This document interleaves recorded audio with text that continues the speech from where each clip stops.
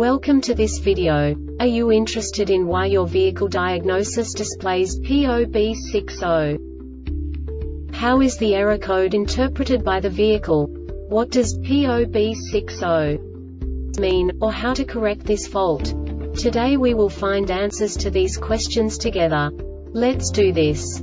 First, let's look at the history of diagnostic fault code composition according to the OBD2 protocol, which is unified for all automakers since 2000. We divide the electric system of automobile into the four basic units. Powertrain, body, chassis, network. This distribution is defined in the first character code. If the second character is expressed as zero, it is a standardized error. In the case of numbers 1, 2, 3 it is a more prestigious expression of the car-specific error. The third character specifies a subset of errors.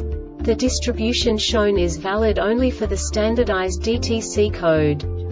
Only the last two characters define the specific fault of the group.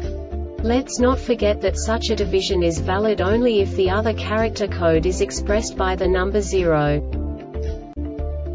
Our website airbagreset.sk produces useful videos for you. You do not have to go through the OBD2 protocol anymore to know how to troubleshoot any car breakdown. You will find all the diagnostic codes that can be diagnosed in a Cadillac vehicles. Also many other useful things. The following demonstration will help you look into the world of software for car control units. You unbelievably can move the video a bit further. The error code is split into two bytes consisting of 16 bits. One bit is the basic unit that each computer works with. The bit has two logical states. 0, low level, 1, high level. By combining the first two bits, the basic character of the error code is expressed. The next two bits again determine the second character. The last beat styles of the first byte define the third character of the code. The second byte is composed of a combination of 8 bits. The first 4 bits determine the fourth character of the code. And the combination of the last 4 bits defines the fifth character.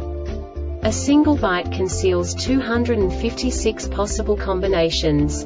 We now know in what way the diagnostic tool translates the received information into a more comprehensible format. The number itself does not make sense to us if we cannot assign information about it to what it actually expresses. So, what does the diagnostic trouble code P0B60 interpret specifically Cadillac car manufacturers? The basic definition is Abnormality in RL wheel inlet valve system. And now this is a short description of this DTC code.